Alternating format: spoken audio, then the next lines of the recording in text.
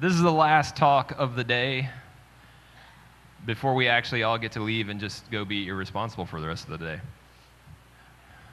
This is James. He's going to tell us about TypeScript and the decorators. I hear that's when you get like bows and ties and you put on the door and stuff, right?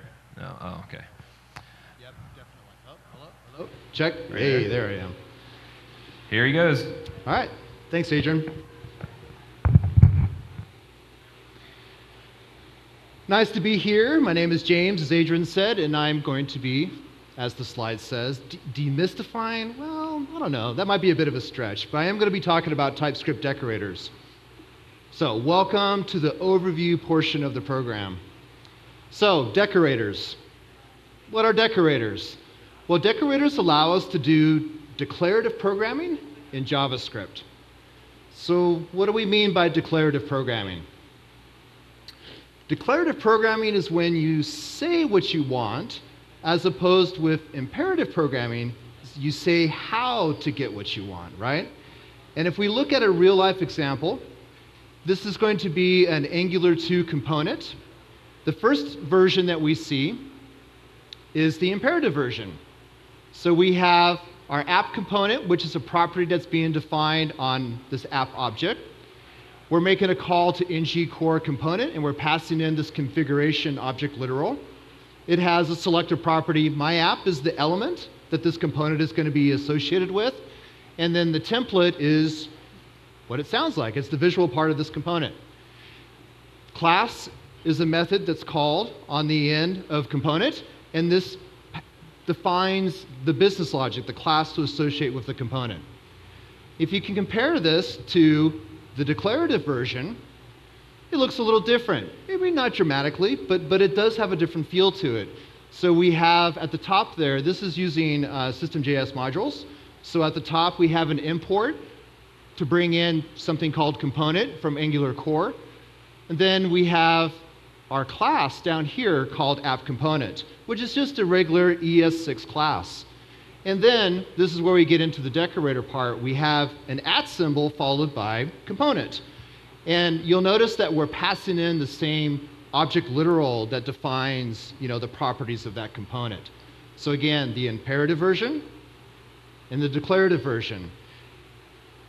You know, you, it, you may have different opinions about how different they look from each other, but my preference would be this one. I think it's cleaner. I think it expresses its intent a little bit more clear than the imperative version. So, because this is a talk about decorators, of course, this is the direction that we're going to go in, right? We're going to take a look at how this plays out. So, let's talk a little bit about browser support. So, which browsers support decorators? Any guesses? Zero, right? Um, there's no native support for decorators at this time. What this means, of course, is that you need to transpile to ES5 or ES6. Now, luckily, once you transpile the decorator code, these are really the only two object methods that you need to make this work. So object define property and object get own property descriptor. Um, and as it turns out, there's been broad support for these two object methods for a long time, going all the way back to Chrome 5. Remember those days, the good old days? Firefox 4, and even IE9, if you can believe that, right? So pretty much once you transpile this code, the resulting code from decorators is going to work just about anywhere. So let's talk a little bit about transpilers. TypeScript is what I'm going to be using today, but if TypeScript's not your thing, you can use Babel. So what is TypeScript? Just to kind of cover this real quickly if you haven't been paying attention to the space. So TypeScript can be summed up into three things not a high level. So to start with, it's a superset of JavaScript. So what this means is that any valid JavaScript is valid TypeScript. In fact, um, generally the way that you convert projects, or you used to do it, is you would just take your JavaScript files, change the extension from .js to .ts, and voila, you had TypeScript files. Um, it's even gotten better these days. You can configure the, the TypeScript compiler to just treat .js or regular JavaScript files as TypeScript. So you don't even need to change the extension if you don't want to. The other aspect that's important to note here about this being a superset is that the TypeScript team, this is not CoffeeScript. They're not trying to change the nature of what JavaScript is and what its strengths are. They're trying to build on top of that. Um, they're, they're, they love JavaScript. This is not the .NET team doing JavaScript. This is a very small team that's focused on you know, making JavaScript work for large-scale applications. The second thing is optional static typing. Again, the emphasis here is on optional. If you don't want to use the static data types, you don't have to. Um, the data types that it brings in aren't, don't go above and beyond the types that are already part of JavaScript. There's that respect again for the language and for the platform. Um, but it does do static analysis on your code. You have a compiler. And so this makes things happen inside of an editor or IDE that you just otherwise um, wouldn't be able to have. And we'll see some examples of that when we get to the demos. The last thing is features from the future. So this is important to us because we're doing decorators, which is more of a future-looking thing. Um, Babel also does this, of course, but this allows us to take advantage of things um, which a couple years ago was important. You know, ES6 features as they were being finalized, um, ES7, which now is a thing. There's only two features, but hey, it is a real thing now. And then, I don't know, ES Next, ES++, plus right? Everything that's, that's still at the proposal stage. One more thing to mention before we get off this TypeScript topic is that it's flexible, right? Whatever editor you're using today, chances are there's a plugin or extension that's going to, to give you support for TypeScript. You don't have to change your tools. Um, there's also rich support for the build tool chain or, or your, your you know, build process tool chain as well um, for Grunt, Gulp, Webpack, you name it. So these are just some examples. Obviously, the Visual Studio products from Visual Studio Proper to Visual Studio Code give you a great experience. But WebStorm has always been right at the top of, of supporting TypeScript really well. Um, Atom, through the Atom uh, TypeScript extension, works really well and is, was one of my favorites for a long time. Sublime, Emacs, Eclipse, the list goes on and on. And so inside of these editors, they're leveraging the TypeScript language service.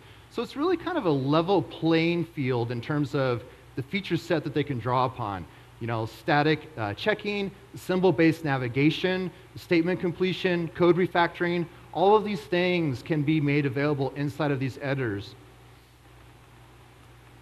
Okay, so on to the demos. So, you know, uh, self-admission time here. In order to show something, you know, you need something to write code against, right? And I typically do this really stupid, simple, arbitrary app that kind of looks something like this. Now, I'm a creative guy, so I come up with a name like my class and then I stretch it a little bit and say prop one, prop two, and then have something called my method that I can decorate.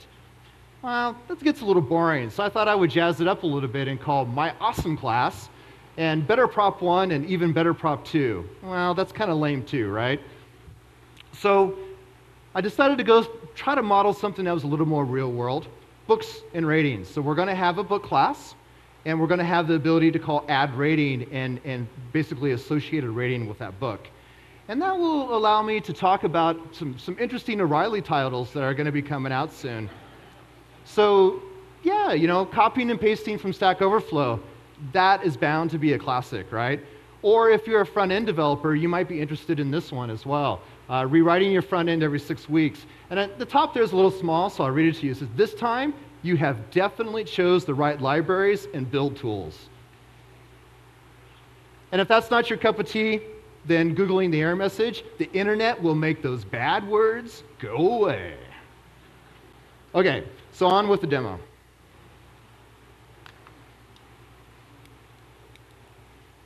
Switch over here. I'm going to be using Visual Studio Code. Oh, hey, who said that? Yeah, one guy. um, it's a free editor, right? It's not an IDE. Even I think they actually did a disservice to the product by associating it with Visual Studio because there's all these like connotations that people have with Visual Studio as this like monolithic, huge IDE.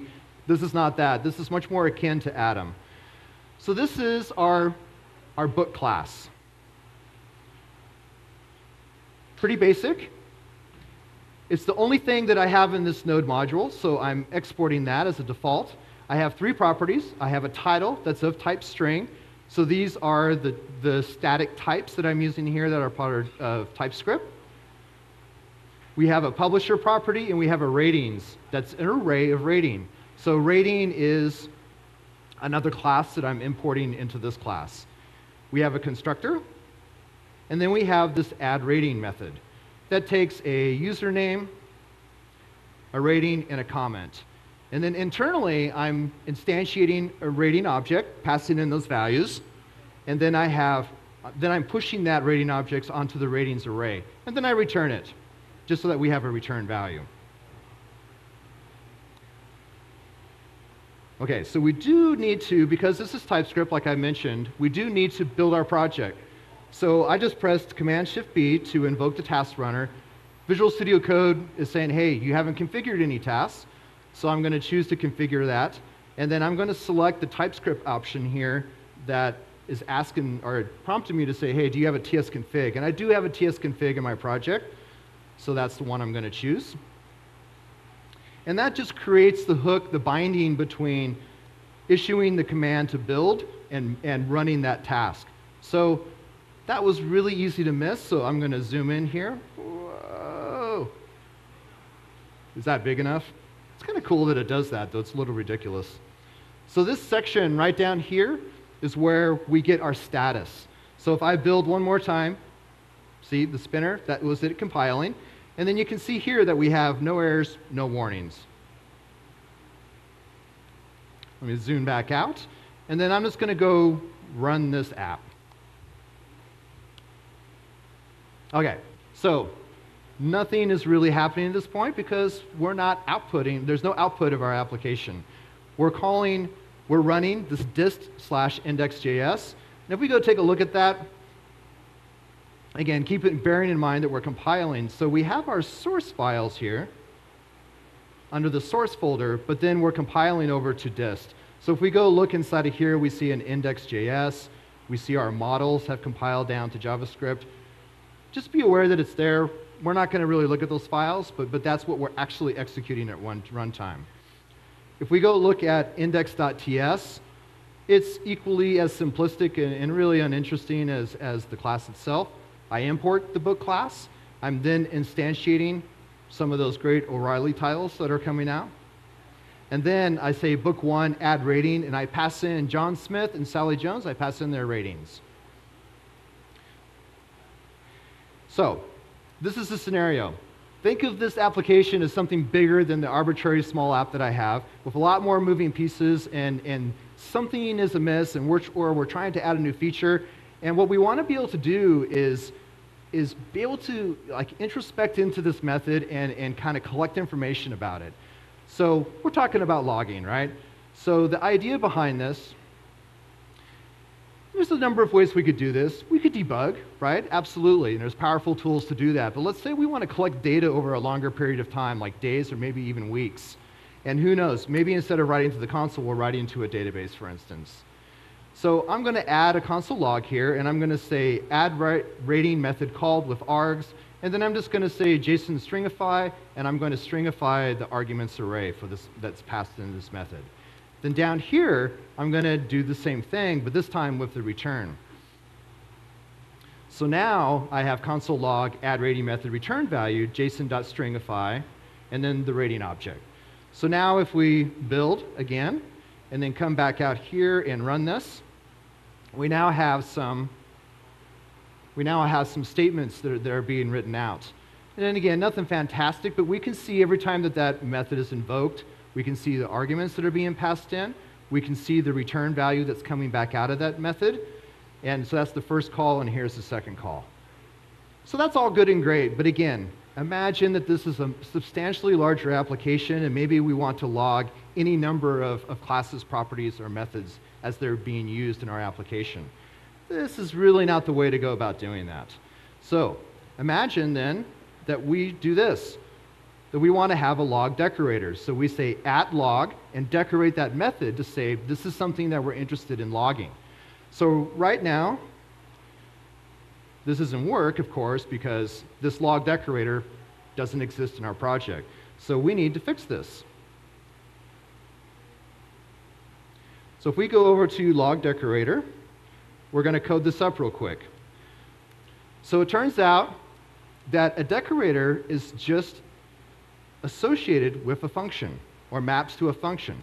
So we're going to export default, and we'll say function, and we'll call this log because that's the, the name of the decorator. The name of the function and the name of the decorator need to match in this case. And that is the shell of our decorator. Now, we do need to do something a little different here, though, because there are arguments that are going to be passed to us. And there's three, in fact. The first one is target. Target, in this case, because we're decorating a, function, uh, a method, is going to be the prototype of the constructor function, right? Because when we're working with classes, we want those methods to be on the prototype, not part of the instances that will be made from that, from that class. So that target is the constructor function prototype. Then we're going to say key string. The key is, it sounds exactly what it is. It's the name of the method that, we, that we're decorating. And then the last one is descriptor. And this is going to be something that's is called typed property descriptor. And that might sound maybe familiar, maybe not. But if we put our cursor on it and press F12, then we'll navigate over to the definition for typed property descriptor. So where's this interface live and where is it coming from? If we zoom in here, you'll notice that this is a file called lib.d.ts. D.ts files are TypeScript definition files, and this one is not one that we control or edit directly ourselves. It's part of TypeScript, and it's what provides the definition for all of the built-in JavaScript objects. So what that tells us is that this property descriptor is part of JavaScript. And in fact, if you go look at, the, at, MDN, if you go to the documentation for object-defined property, these properties right here, these six properties, enumerable, configurable, writable, value, get and set, are what you use to create properties dynamically on objects by calling define property. So I'm going to copy that and just bring it over for reference as we're working on our decorator here. Just so we can keep that in mind as, as we're doing our, our implementation. So, we're decorating a method. We want to preserve the original method. So that's the first thing that we're going to do is we're going to say let original method, and we get that reference by looking at descriptor value. If this was a property, value would be the value that was assigned to that property. Since we're decorating a method, the value is the reference to the function that is that method, right? So we now have grabbed a reference to that, and now we can turn around on descriptor and redefine redefine the function that makes up that method. So we can say descriptor.value is going to be a new function. And then the last thing we need to do is we need to return that descriptor from our decorator. And the reason for that is, is that if we don't return anything, the, the decorator framework that, that is calling into us won't know that we're intending to replace the implementation that we're decorating. By returning the descriptor, that is sort of the heads up, if you will, that says, hey, you need to install this property descriptor over the top of what was there because we're replacing the implementation. Which is exactly, we're, we're going to wrap that method. So inside of here, if we just built this and ran this right now, what would happen is that there would be no behavior, right? Because we've, we've redefined what that method is, but this method currently has no implementation. Well, we captured the original method, so we can say let result equals original method dot apply because that method is no longer attached or, or installed on, on that, that object, the prototype. So we need to give it what this is. So we're going to use apply and pass in its correct this, and then we're going to supply the args. Well, where do we get the args? Well, we're not taking in parameters right now, but we can solve that by using a REST argument, or REST operator, excuse me. And then we can say that this is going to be an array of any, because we don't, we don't know how many arguments we're going to get. We're making this general purpose. Um, and we also don't know the type, so we're just going to say it can be any data type. Now with that in place, we've decorated the method and we're also preserving its behavior, but we really haven't like done anything above and beyond that. But we have a place to do that now, right? So we have a before and we have an after. So with that knowledge and this opportunity, we can take these log statements and, and bring them over here and use them. And again, we're, we do not know necessarily that we're calling add rating, so we're going to parameterize this. And we'll use the key. That's the name of the method that's passed in. So that's very convenient that we have that. And then JSON.stringify, instead of arguments, we called our arguments args. And then we'll do the same thing for the second. Again, we can parameterize the method name to make this general purpose. And then here, oh, it's the wrong statement. Okay. So add rating is now a key, and the return value, instead of rating obj like we had before, is just result. Then we can come over here and just completely get rid of that. We're not going to use that anymore. And if we build, you'll see that we have a build error. So if we click on that, we can see that the error says cannot find name log. It's a pretty simple mistake. If we click on that, it takes us to the air. We didn't import it, right? So we created our decorator, but we didn't bring it in uh, to this module. So we're going to say uh, import log from, and I need to go up, and it's in decorators, and then it's log, get this right, decorator. Okay. build again. Now we're happy. So now we come back out here and then let's rerun our app. Now we have the output looks remarkably similar. There's a little bit of difference. We're not, we're not JSON stringifying the arguments arrays, so we lost the, the, uh, the argument positions with the args, but we still have the values here. Um, but we still get those, you know, the output, the console logs that we were expecting. So just for kicks, let's add another method. And then let's say that this is going to be a number. And then let's see, we'll return arg1, and then maybe we just times it by 2. And then we'll add our log decorator on that guy. Run this. We do need to go over to index and actually call that method. That would be good. So book 1 here we can see when I dot off of that, I can see that I've got another method that I can call. Oops. And pass in two. Let's build and run. Now we can see here that another method, you know, just by adding that log decorator, now we have logging here too. So you can see how easily we could, we could create that log decorator and just start using it throughout our application wherever uh, we might need to. So that's a good start. Let's see what else we can do with this.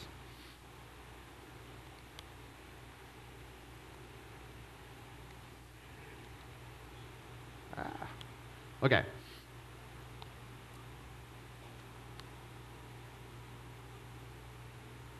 So it turns out that we can use these as building blocks. It's composable, right?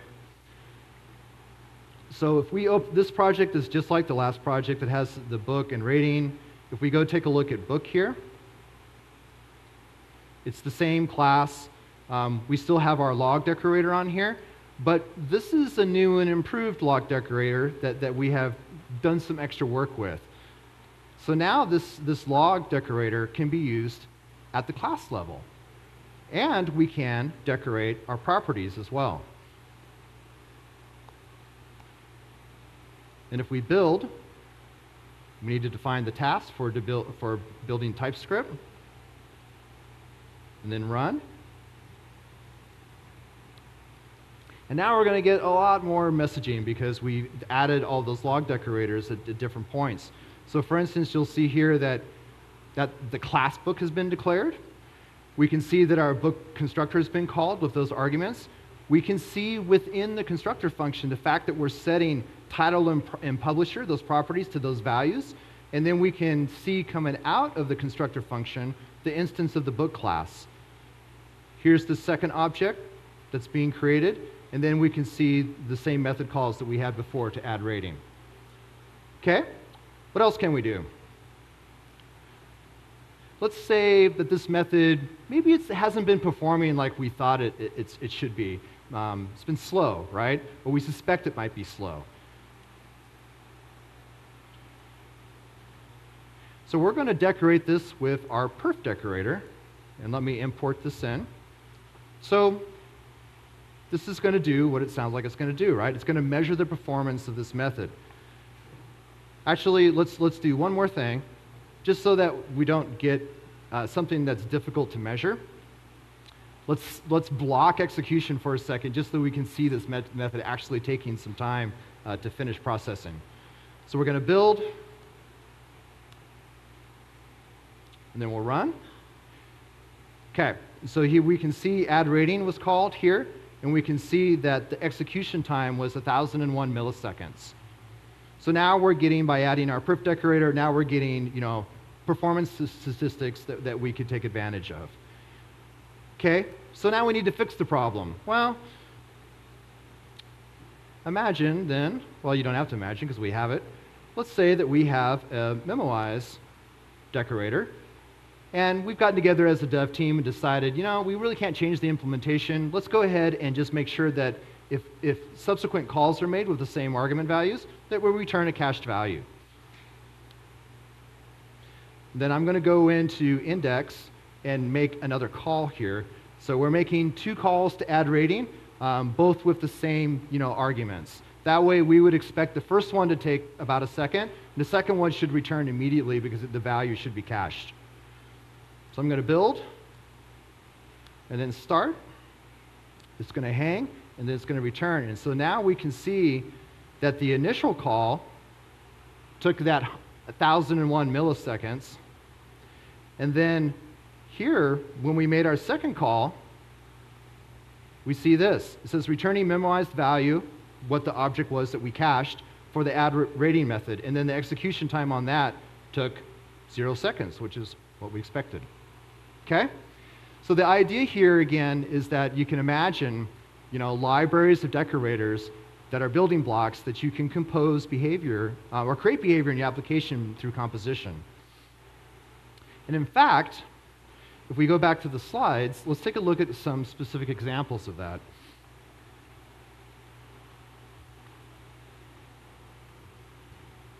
So the truth of the matter is, is that most of the time, you're not going to be creating your own decorator libraries. Maybe if it was a big project or if you're doing something specific, you're going to be consuming them, like we were showing the Angular 2 example earlier. So, what are some examples of that? So, all of these are um, NPM packages that I found online um, a couple weeks ago. And so, I'm just going to show you some quick examples across some different frameworks and libraries. So, here's an example of an Express set of decorators. So, test controller is being decorated with web controller and that slash hello is the base URL for that controller. Then we have say hello action, which is being associated with, with a get HTTP verb, and it's being associated with slash world as a path. And we can also see that it's, we're injecting in this my middleware function, and we also have this web use. So this other middleware, because it's not associated with any other path, it's going to be applied um, to any other path that's defined in this controller. Lodash. So here's an example of decorators that aren't doing anything other than wrapping uh, methods or functions that are available as part of Lodash. So here's our a person class, and we have after three on get full name. So that's going to only invoke that function or, or execute that function after the third time it's been invoked. Debounce is exactly what it sounds, is that when it finally does get executed, it's going to have a 100 second milli delay before it, it runs. Curry, again, it's pretty self-explanatory. It's going to take this do heavy processing and create two functions, right, that can be called in a curry fashion. So the first function will take arg1 and return a function that you can pass in arg2. Then we also have Memoize on that, so that, you know, if we're passing the same arguments, then we're using cached, where we get cached values back. React decorators. I'm not a React developer, so if someone here is a React developer, you might do a better job of explaining this than I would. But the idea here, I believe, is that you can take your data stores, so in this case we have foo store and bar store, and we're able to associate those um, or connect those with this component without having to take on writing that code ourselves within this component. So it's a, it's a very like modular, modular way of, of you know, hooking things together. And then it's it's exposing or setting foo and bar properties um, on this component. And it's taking care of doing all the wiring of listening for those of, you know, change events and whatnot, so you don't have to you know, write that code for each one of your components. All right, so to wrap up, um, there is a bit of a word of caution. So, you know, if you're thinking about experimenting with decorators, it's really just about that. It's experimenting. Think about what you're doing. If it's a personal small project, have at it, right? Um, if you're on the job and you're doing real work, this is more of a future thinking thing. You don't want to start betting your, your, you know, your company's or your client's application on something that's going to be in flux, and it is in flux. Um, the proposal, in fact, has changed in some minor or you know, slight ways from way it's actually implemented in Babel and TypeScript. The external, the way that you, you use decorators hasn't changed, but the implementation behind the scene has. Um, eventually, we'll get there, and, and TypeScript will support that, but it's still very early days, and it'll take some time to catch up. So just be aware that, that, that this is to get you thinking about you know, a direction that we're heading, right? And along that lines, uh, TypeScript roadmap. Um, there's features around decorators in 2.0 and 2.1 that they're proposing. Um, they're not big features, but they are going to be nice improvements. Um, so things that, that we're looking forward to. Um, the decorators proposal itself is available here on Yehuda Katz's GitHub repo. Um, he's the one who actually created the decorators proposal um, and is the person that's sort of like instigating all of this, which is a great thing. And that's what I've got for you. So thanks for listening, and uh, there you go.